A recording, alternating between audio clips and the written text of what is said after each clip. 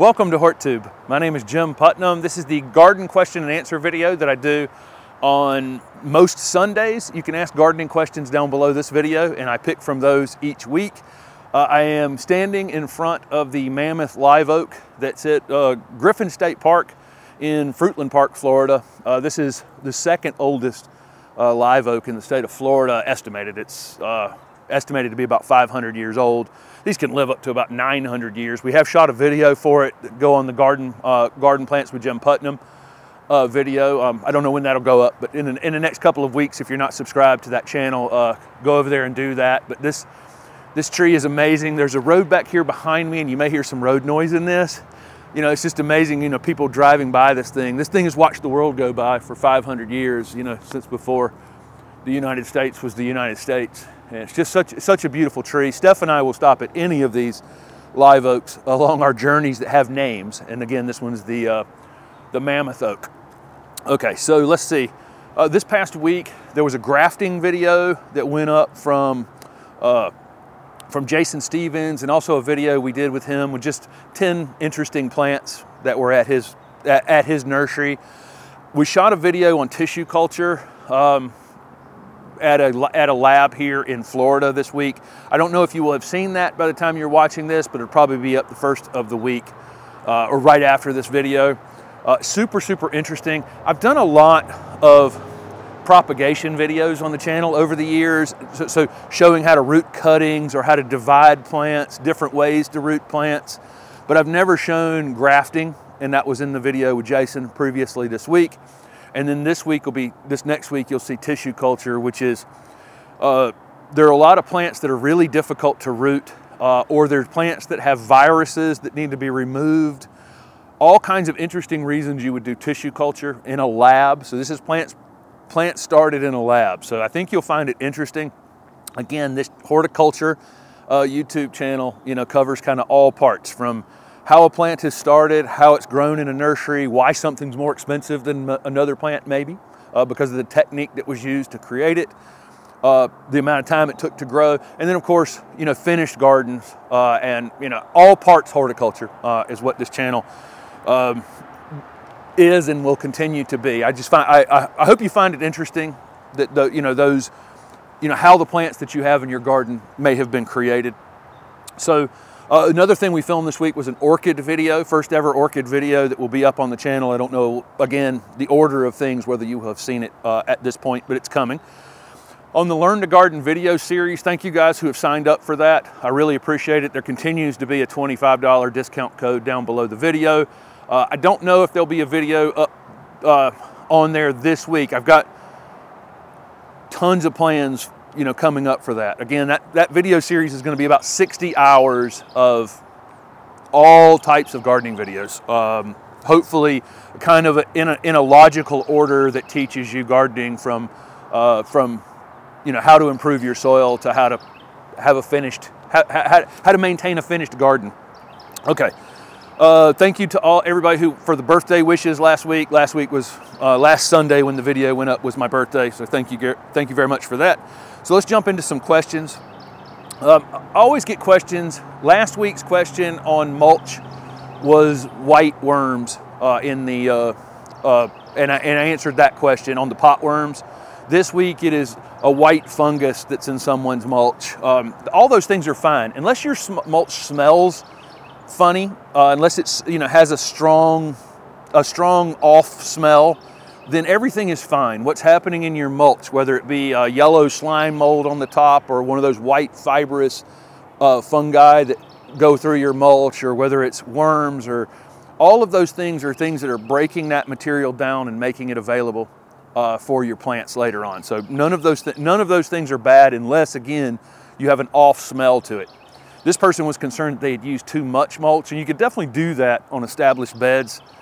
You know, if you're starting a bed and you're not going to plant for a long time, it's kind of, you can, you can put a lot of mulch, but on your established beds, I don't typically put as much, you know, each, each time. I want it to kind of break down almost entirely between applications. So anyway, but all of those things are beneficial. It's life is happening in your garden. Congratulations. Okay, um, somebody said they have a hard time finding triple shredded hardwood mulch in the Atlanta area. Somebody else said it about South Carolina, I think. Uh, sometimes the mulch is called something different in your area, so just ask the mulch uh, places that are in your area around the Atlanta area for hardwood mulch and then get the one that's been ground the most. It used to be called double shredded hardwood. I don't know what happened to these guys shredders that they needed a third time to get the same exact material. I think it was they could up the price $2 a yard by calling it triple instead of double. I don't really know. Um, but uh, anyway, that's what it's typically called in my area in Raleigh is triple shredded hardwood. Again, it may just be called something different, but there's almost certainly some sort of hardwood mulch available in the Atlanta area for sure. Okay, uh, let's see.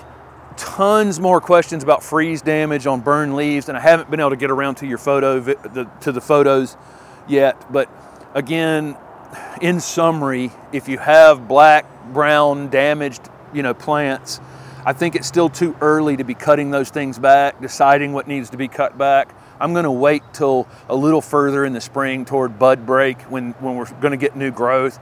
The plant will leaf out where it's going to leaf out and you can cut it back to that height at that time. I mean, that's the best thing that I can tell you. Again, I continue to see some things that were damaged in our garden before we left to come down here to Florida uh, that are still showing additional damage. And again, some of the things that I thought were damaged looking better and better, really. Um, so uh, I would just let it play out uh, for a few more weeks. And as it you know, really starts to warm up in March, we'll make those decisions on what's going to get cut back. There'll be plenty of video content during the month of February and March on on those damaged plants, you know, recovering from that. Okay, let's see.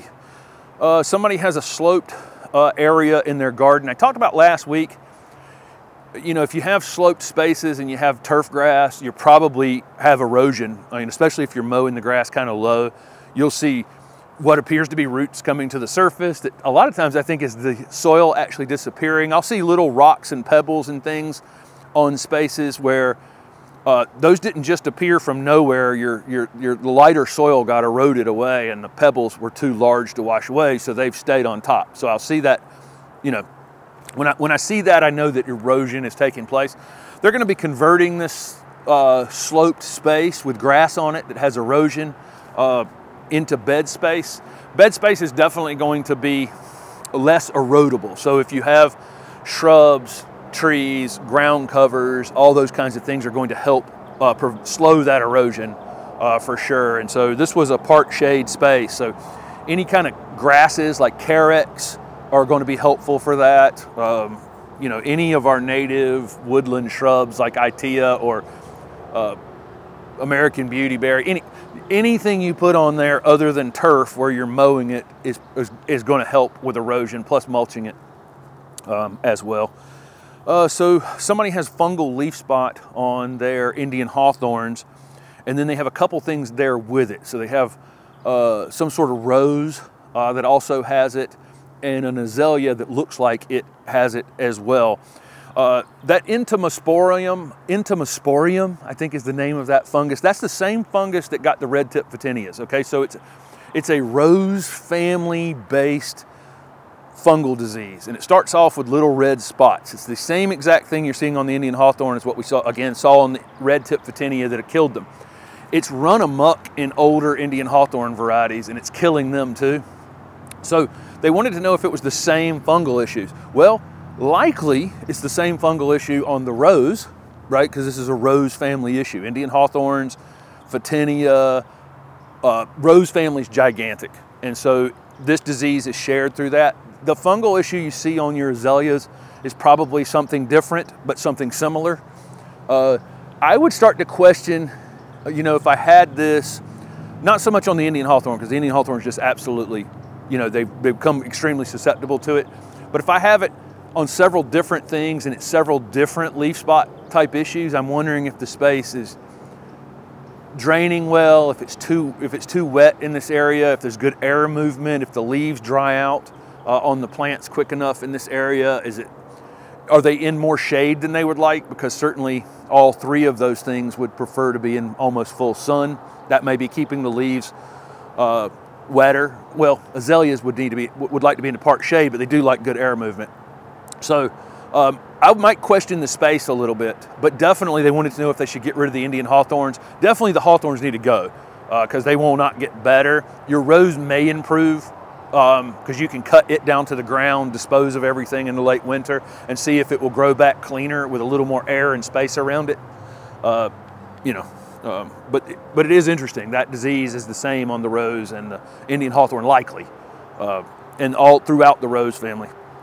Let's see. Um, somebody asked about a good marker uh, and labeling tags. I think the plastic that plastic tag or wooden tag or whatever you're using is less relevant. You can almost use anything. I've used taking uh, plastic bottles, like a two liter bottle, and you can cut it into little narrow tags. I've done that before when I was a poor uh, person. You know, when I was starting the nursery and I was trying to spend money to produce plants without spending money to buy tags. Um, you know, I've cut up pop bottles and soda, you know, anything. Uh, but definitely want to use a nursery marker or garden marker um, that you know will hold up. Some uh, there are other types of markers as well, but you know I would Google this. The marker is almost more important than the material uh, that you're putting it on, uh, because the sun, the sun, the sun and the water can wash any other, lots of other kind of inks away pretty quickly. And there's other types of uh, uh, markers and pencils as well that work. Uh, but I've always just used the uh, black felt nursery markers. They last for a long time as long as you put, remember to put the cap back on, which none of my employees were able to do, but um, as long as you put the tops back on, they last for a long time. Okay, um, if you, uh, let's see. Okay, somebody asked if you're pruning, so you have a, you have a shrub in a container, if you're pruning it, um, and, and pulling it out of the container and pruning the roots occasionally, can you leave it in the container forever? Yeah, absolutely. You do need to change some of the soil out periodically, but that's the same thing as bonsai, right? I mean, bonsai plants, you know, when they're, people are bonsaiing, they they can keep, you know, keep the same bonsai plant in the same container forever. They do typically up the container size a bit to match the, to more match, you know, the top growth on the plant. But yeah, you can keep them in a container forever. Again, a little bit of root pruning, a little bit of top pruning, and a little bit of new soil occasionally. And they don't have access to mineral content that's in the ground, so for a little bit of fertilizer uh, as well. Uh, so somebody, uh, somebody was in Greenville, South Carolina, just asked if I've grown muhly grass and uh, you know recommend planting it. Yeah, oh yeah, Muhlenbergia is native to the southeast same as this southern live oak um, behind me, uh, native to the southeast. So you're in Greenville, South Carolina, you're in the perfect place to be growing muhly grass. Typically when I see muhly grass and get excited about muhly grass, it's in a mass.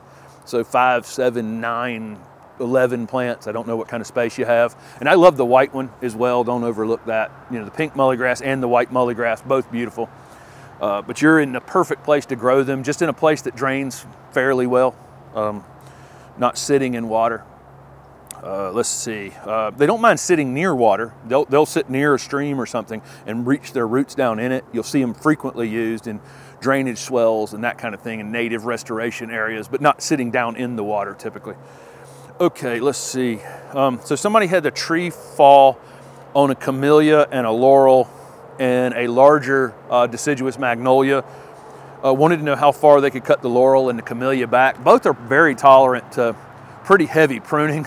So I don't normally recommend people prune their camellias back hard, but ones that do get pruned back hard do come back out of it, but I would expect it to take several years to reestablish itself into something that looks pretty good.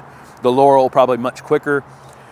Their magnolia is on a lean and wanted to know how to straighten it out, but it's four or five inches in diameter. I think the only way would be to anchor it to another tree and use some sort of, uh, or anchor it to something you could put in the ground uh, and slowly bring it up uh, by put, you know, adjusting it slowly, almost like braces on your teeth, where you know it's just done slowly a little bit over time. But you could use some sort of ratchet strap and pull that tree back up, uh, and not try to do it all at once.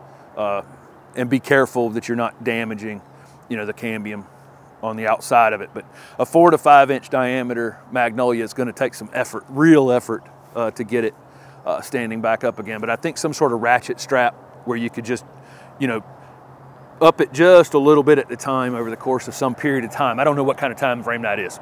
because I don't know how well the thing is anchored and how willing it will be. It might be just completely willing to come right back up in one shot, and then you just leave it staked for some period of time. Um, let's see. Uh, so somebody has their pansies were badly damaged, wanted to know if they should prune off the brown material. They are starting to show some new growth. I don't think you need to prune the brown material off of them. I, I think the new growth will just cover it up.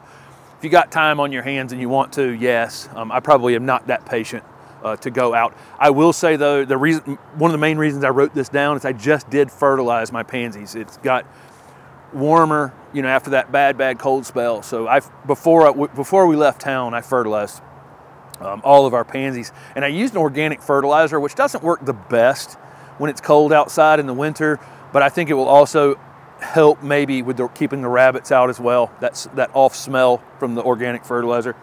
Uh, that's my hope. That's my hope anyway. Um, so, uh, so okay. So somebody asked how close they can let the grass get to their uh, oak tree. Uh, well, this one they've kept cleared all the way around this big giant oak so people can come up here and take a look at it and admire it. I'm surprised somebody hasn't walked up this path yet while I'm filming this. Uh, so far, so good. Uh, but you can, oaks are definitely, I mean, no tree wants grass growing right up to the bottom of it.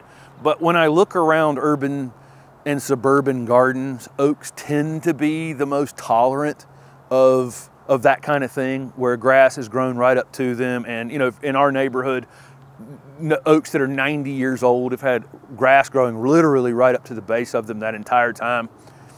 And, and they're fine. Other trees, I think, less likely to, uh, to appreciate that. So you can, you can literally grow the grass probably right up to them. I don't think that that's ideal. I would want, in the way I grew my willow oaks at the old house, is I expanded that bed to the drip line year over year over year. So the bed they were in got bigger as they needed that space. I did have some underplanted shrubs underneath them, but no grass. But as a rule, I think, you know, or as my from my observation, oaks are one of the most tolerant trees of having the grass up to the base of them. Uh, so somebody has a shady area and they want a grass look underneath it, but the grass is not um, but the you know regular turf grass will not grow in it. It's just too it's too shady.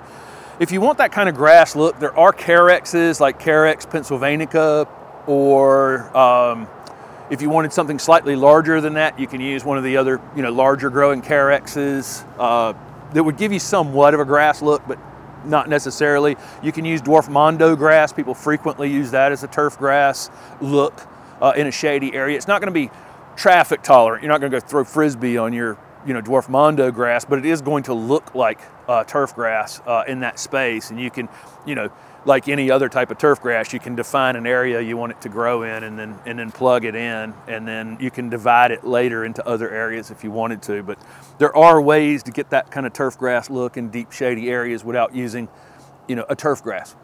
So as an ongoing joke on the channel, I have to say the word loropetalum every week. Somebody asked what the purple shrub was behind me uh, last week, as because I've said it in so many of these Q and A's for whatever. It always comes up as a question, or it's always behind me in, and when I'm shooting at the house. And so I always, end, again, always end up saying loropetalum or having to answer the question, "What is that purple plant?" So that's that's what it is, and that leads me to the next question, which somebody had um, a landscape plan done, and it's on the north side of their house in Zone 7B and it includes Crimson Fire uh, loropetalum, which is a dwarf loropetalum similar to that. Uh, uh, I'm going to lose the name of it real quick. Uh, the uh, uh, Sunshine Day, that Sunshine Daydream. No, it's not Sunshine Daydream. It's Purple Purple Daydream loropetalum. I got it. I'm looking at stuff back here, and a good words wouldn't come to my head. Purple Daydream loropetalum and Crimson Fire, very similar in size. And then it also included some Fire Chief arborvitae and they didn't think it was sunny enough in that location. I, have talked about this before. In the south, uh, in the summertime, the sun actually tracks north of us. And so for about eight weeks in the summertime, six to eight weeks, it's really hot and really, really sunny if we don't have any protection on that side of the house. Then the sun, of course, retreats back tracking in the south where it is this morning, you know, coming up in the southeast and setting in the southwest. And that's shady for like 10 months out of the year, and it can be a very tricky space. It can be hot, super hot and dry, like the hottest time of the year is when it's hot and dry and sunny. Uh, and then in the wintertime, it can be the wettest spot uh, in our garden. So it is a very tricky space. So I would also question that, uh, the, the, the, use of those two plants. I would go back to the landscape designer and ask them for maybe native plants in that space. I, I've talked, again, talked about this before. I think that when you have difficult spaces in your landscape, changeable spaces where it's going to be sunny sometimes and shady sometimes and dry sometimes and wet sometimes, uh, that's the, that's the times I definitely lean on native plants. And so that might be the thing I go back to them and ask them for a native plant replacement uh, for that space. And I think you would, um, uh, those things would be more likely to take the changeability of the year, uh, just being tough, right? Uh, let's see. I talked about, so last week I talked, uh, I had had a question about gardening on a budget. And I talked about you know, starting your own seeds, dividing plants and sharing them, maybe going on a Facebook group that shares seed and shares divisions of perennials and plants and you know maybe somebody that that sticks cuttings can share some of the uh, you know their their propagated plants with you uh, maybe starting a Facebook group for that kind of thing and somebody mentioned uh, also buying small containers and I big fan of small containers. We go down to a nursery called Big Bloomers in Sanford, North Carolina in the spring, buy a lot of our annuals that we purchase um, from them. Uh, most of our annuals are from seed. A lot of our perennials. They grow a lot of things in very small containers, uh, and uh, it's just a great place. I love doing small containers, and not just because of a budget. Uh, I, I, made a living off growing small containers for years at my nursery. I started plants for other nurseries in uh, three quart containers. We trade gallon containers, we call them, where it's a fake gallon is what it is. Uh, and a lot, I had a big customer group uh, for those containers because, you know, maybe somebody has a shady area with a lot of roots and it's hard to dig holes. Uh, it's hard to dig big holes in those spaces. Um, maybe again just being on a budget. And i also like to watch things grow right? It's kind of nice to have a garden in which you're watching things grow. And so again i like to plant small things. So that was a great suggestion for finding small containers. Unfortunately a lot of new plant introductions the the breeders and folks and the companies aren't allowing you know things to go in small containers which is disappointing in my mind. Or they're making them go into a branded container you know a very small branded container I'd love to get some of the expense out of that and keeping in mind that there are people who can't afford a $4 annual in a little pot. So, uh, you know, throwing that out there. Uh, let's see. So uh, last question for this week. Again, thank you guys for your participation. This garden question and answer video does not exist without your participation and your great questions. Great questions every week. Um, so keep them coming. Let's see. Uh, somebody asked about planting, uh, the timing of planting hollies in Virginia. So they're in zone 7A up in Virginia, wanted to know when to plant hollies. The reason I, I wrote this question down was because uh, this is the time of year I start thinking about uh, uh, about new having new growth on plants and where the plants are coming from and the timing of putting them in the ground. So if I went to a garden center or nursery right now and there was a plant on a table that had been there for the last you know, through the fall and through the winter, and it had been outside and it was acclimated to my temperatures in my area, I'm buying that and putting it in the ground. I plant 12 months out of the ground as long as the ground's workable. Uh, not on the maybe the wettest days of the year, but any other day I'm planting as long as the plant is again kind of acclimated to my space. What you'll see this time of year as the garden centers and folks are starting to bring plants in, almost all of them are buying from zones south of them.